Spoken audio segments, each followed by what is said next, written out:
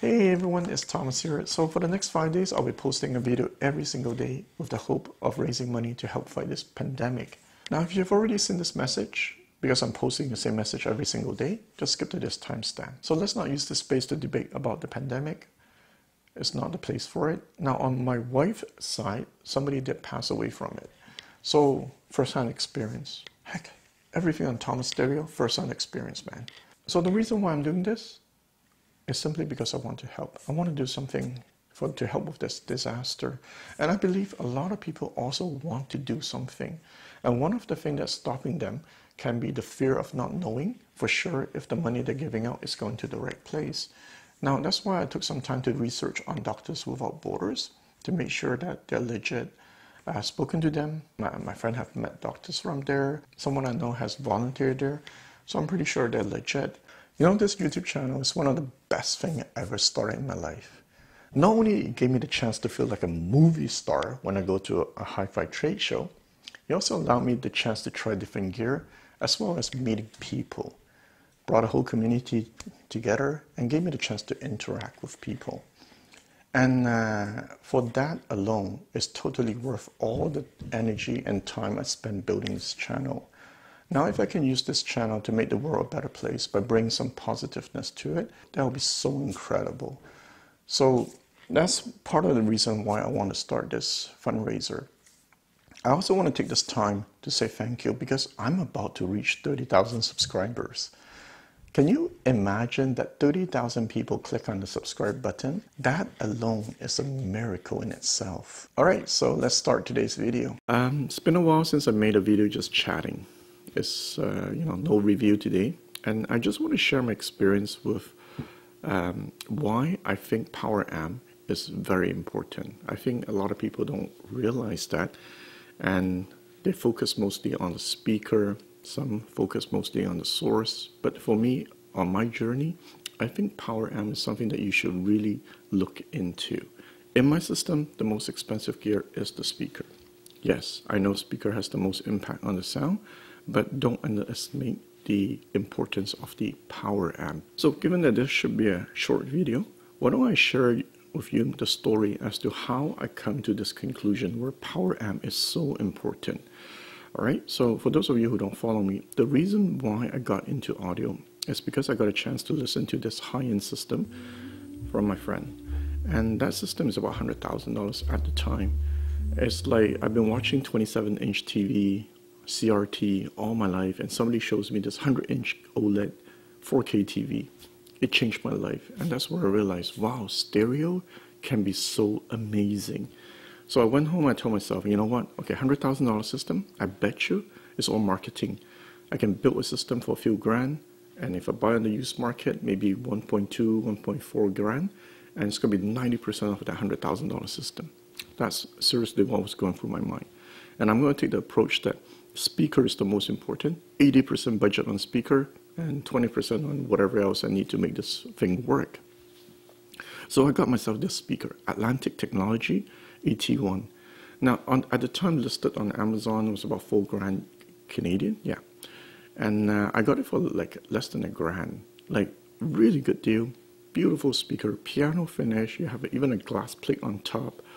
And uh, I read some good reviews on it from Stereophile uses the transmission line principle. People say you don't even need a subwoofer. The thing rocks. And then I say, you know what?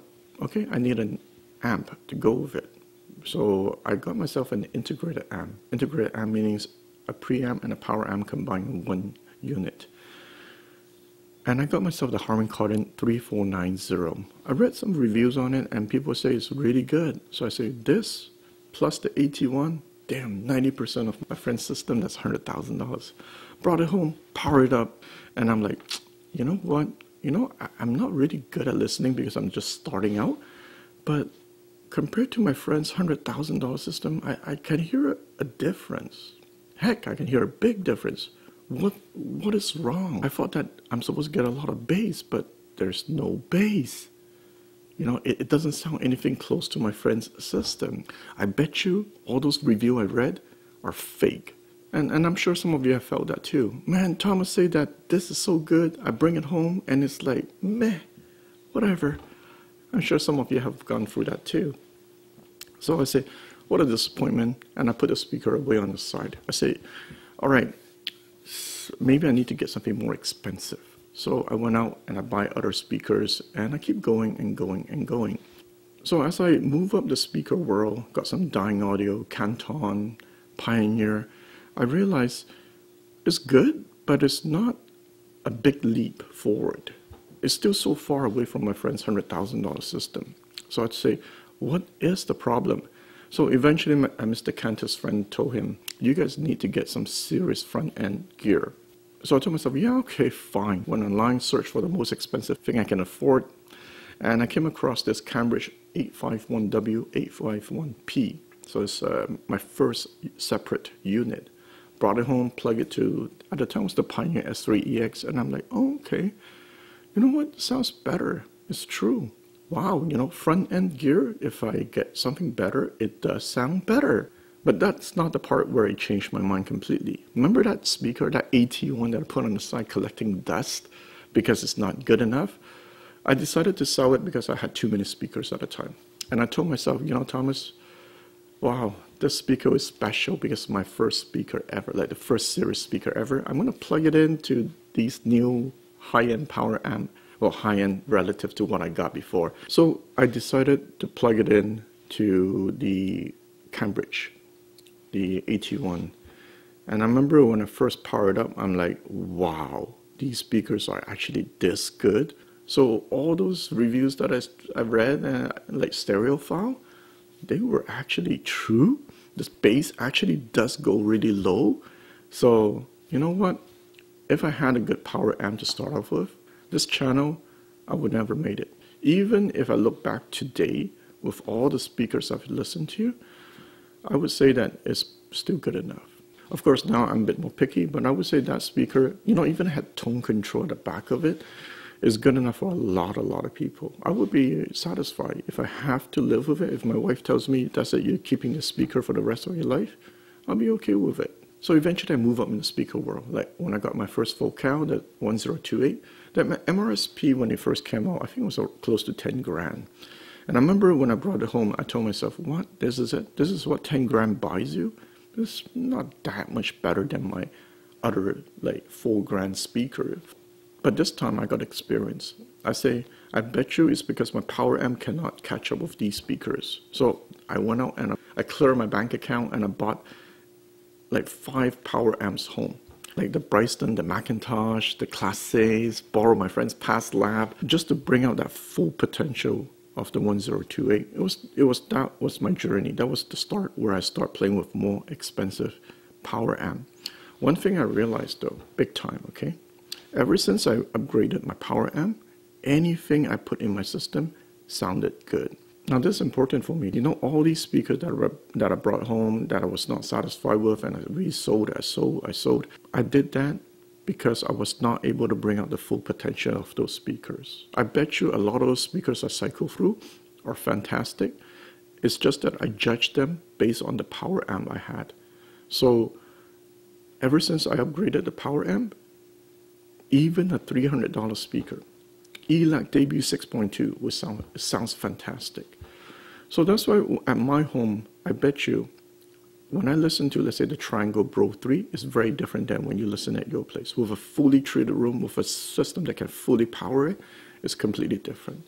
And I know that because yesterday, when I made the video on the 3050i, right, moving from the Marantz all the way up to my own reference system, it changes the speaker completely. So the point I'm making is that don't underestimate how important the power amp is. For me, it's probably one of the most important thing in the system.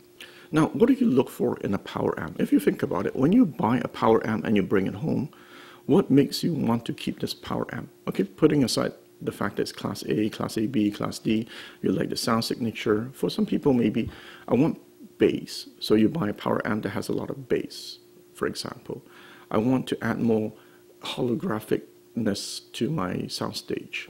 So you have your tube preamp to do that, but you can add a tube power amp to increase the, the, the holographicness. So everybody chooses power amp for different reasons.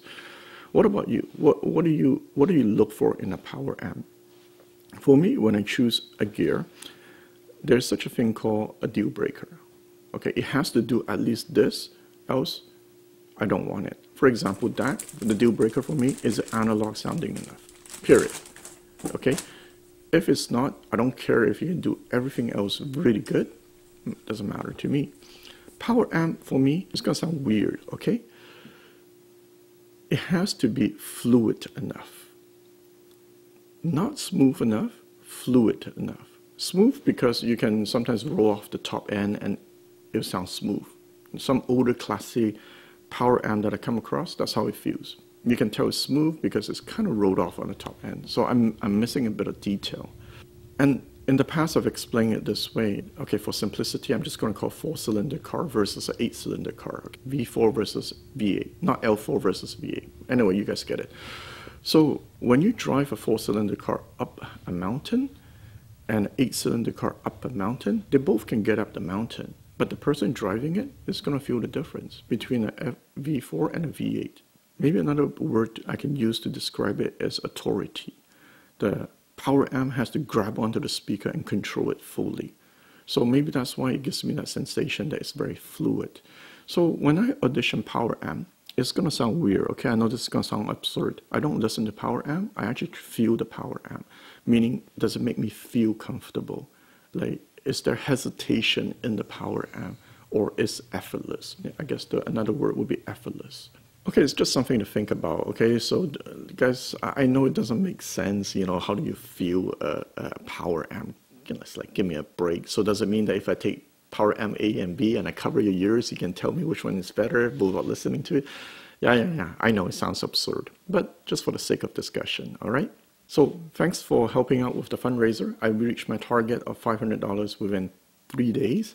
And I was telling myself, guys, if I can reach my stretch target of a thousand by Sunday uh, next week, I'll make three to five videos to say thank you. I think three, five is a bit hard. All right, guys, I'll see you next time.